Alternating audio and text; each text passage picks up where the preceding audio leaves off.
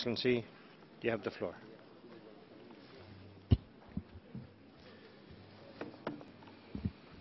Um, Mr. Vice President, Your Excellencies, distinguished delegates, ladies and gentlemen. Uh, let me start by congratulating the presidency of the 12th cycle of the Human Rights Council and also other members of the Bureau for their election to lead the work of the Council for the year to, uh, 2018. I assure you of Nigeria's unflinching support and cooperation. Permit me to also seize this opportunity to express Nigeria's most sincere appreciation for the overwhelming support extended to us during our quest for re-election to the Human Rights Council in October 2017. We'd like to assure you, our friends and partners, of our readiness to promote the achievement of the core mandates of the Council. Mr. Vice President, as we celebrate the 70th anniversary of the Universal Declaration of Human Rights and the 25th anniversary of the Vienna Declaration and Programme of Action, it is pertinent to recognize that the promotion and protection of human rights remains one of the most important modalities for the attainment of international peace and security. Nigeria remains strongly committed to ensuring the full and efficient implementation of the provisions of the Universal Declaration of Human Rights. To this end, a number of human rights related bills have been passed into law by our National Assembly.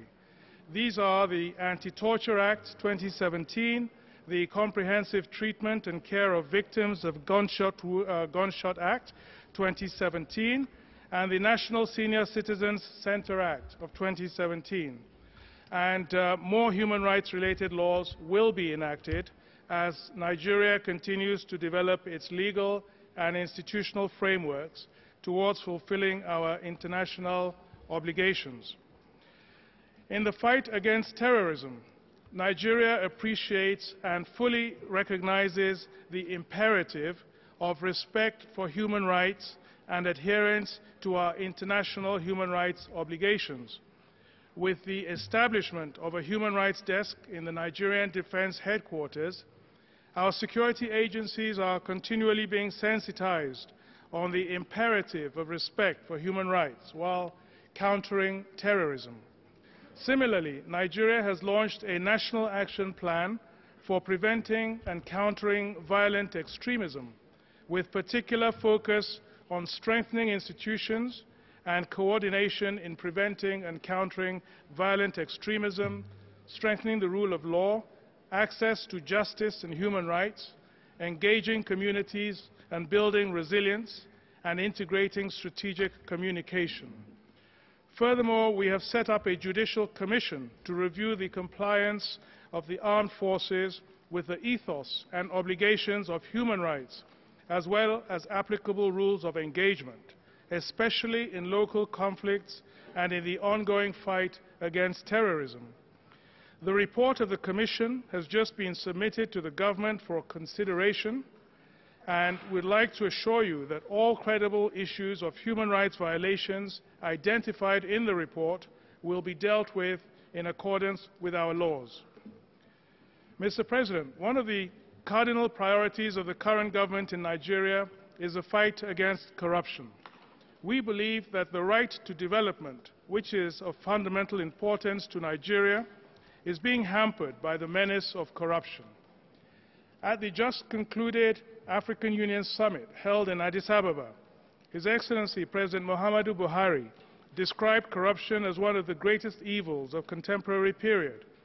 It rewards those who do not play by the rules by creating a system of distortion and diversion, thereby destroying all efforts at constructive, just, and fair governance. It was in recognition of the President's avowed commitment to tackling the menace of corruption that the summit appointed him to champion the fight against corruption on the African continent. While corruption has become endemic in various societies, it should be highlighted that the availability of safe havens for proceeds of corruption remains the major attraction for corruption in our societies. Nigeria will therefore continue to seek international cooperation in its quest for unconditional repatriation of proceeds of corruption stashed in foreign jurisdictions to countries of origin. We remain resolute and focused in our fight against corruption because it undermines the full enjoyment of basic human rights and fundamental freedoms of our citizens. Migration and human trafficking are issues of great concern to Nigeria and indeed the international community. We reiterate our call for all states to respect the rights of migrants and accord them humane and dignified treatment in line with their international obligations. Transit and destination countries should give priority to saving the lives of vulnerable migrants, regardless of their immigration status. It was in this regard that Nigeria welcomed the adoption of the New York Declaration for Refugees and Migrants and the ongoing efforts on the elaboration of a global compact for migration, as well as a global compact for refugees. We are committed to ensuring that none of our citizens is left to suffer inhuman and degrading treatment at the hands of human traffickers. In this regard, a delegation from Nigeria recently went to Libya to interface with the authorities with a view to ensuring that Nigerian and other migrants are duly protected and treated with dignity. In this regard, we emphasize the need for global synergy and cooperation in addressing the ugly incidents of human trafficking, as well as the plight of migrants across the world. Mr. Vice President, Nigeria emphasizes the imperative of genuine and sustainable international cooperation based on the principle of universality, transparency, and non-discrimination in accordance with the Universal Declaration of Human Rights, the United Nations Charter, the Vienna Declaration, and Program of Action. Nigeria calls for the non-politicization of human rights issues. It is for this reason that Nigeria has endeavored to stand out as a voice of moderation by striving to bring the much-needed balance and credibility to the work of the Human Rights Council. Nigeria has always held the opinion that the universal peer review mechanism serves as an important tool in ensuring compliance with international human rights obligations. To conclude, Mr. Vice President, we expect that at this session of the Human Rights Council, we will commit to turning a new page in the work of the Council such that the aspirations and objectives that led to its establishment in 2006 are realized for the good of mankind.